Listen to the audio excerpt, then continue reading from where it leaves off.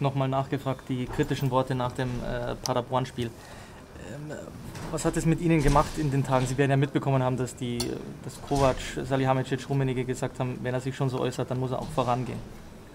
Also ich sage jetzt mal, wir einfach gestrickten Journalisten haben das Tor gesehen, haben gesagt, jetzt hat er geantwortet.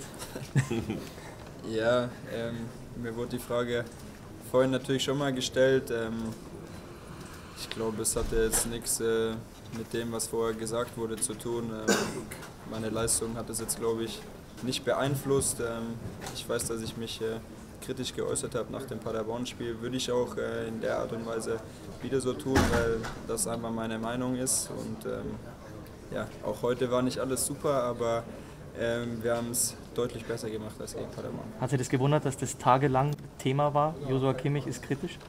Ja, wenn ich jetzt wieder was dazu sage, dann wird das äh, weiter Thema bleiben. Also, ähm, es ist, wie es ist. Inwieweit war das vielleicht äh, das beste Spiel Ihres Lebens?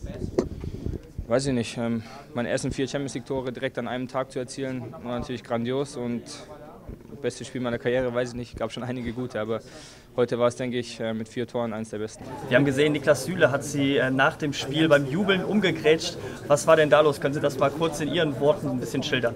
Ja, wir haben einfach ein bisschen Spaß gemacht. Ähm, ich habe ihm einen Klatsch auf den, auf den Kopf gegeben und er hat sich umgedreht und hat dann einfach kurz reingegrätscht, aber alles gut. Ich habe ihn auch äh, nach dem Spiel umgegrätscht, ähm, aber das war auch, weil er mir einen Schlag gegeben hat.